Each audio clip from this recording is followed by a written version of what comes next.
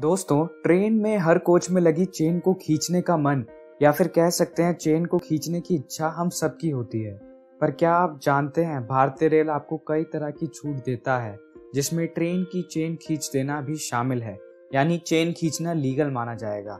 पर ऐसा तभी हो सकता है जब आपके पास कोई वैलिड रीजन हो। तो आइए जानते हैं इस वीडियो में। नंबर वन दोस्तों अगर ट्रेन आगे बढ़ना शुरू हो गई है और आपके साथ कोई सीनियर सिटीजन है जिसकी उम्र 60 के पार है, या फिर आपके साथ का कोई छोटा बच्चा छूट रहा है तो ऐसी स्थिति में, ऐसी सिचुएशन में आप ट्रेन की चेन खींच सकते हैं। इसे लीगल माना जाएगा।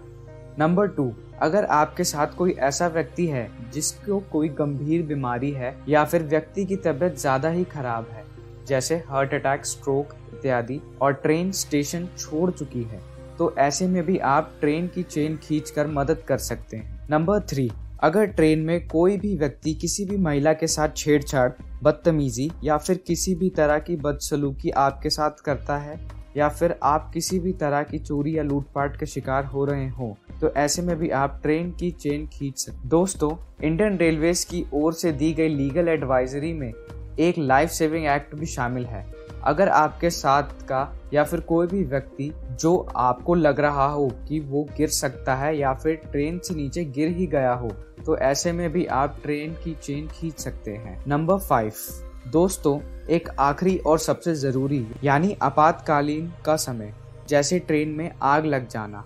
ऐसे समय में ट्रेन की चेन खींचने में बिल्कुल संकोच ना करें। दोस्तों चेन पुलिंग का दुरुपयोग करने पर इंडियन रेलवे एक्ट उन्नीस सौ नवासी की धारा 141 के तहत दोषी को एक साल की सजा हो सकती है और एक हज़ार रूपए तक का जुर्माना भी हो सकता है, पर अब इसे भी बढ़ा दिया गया है।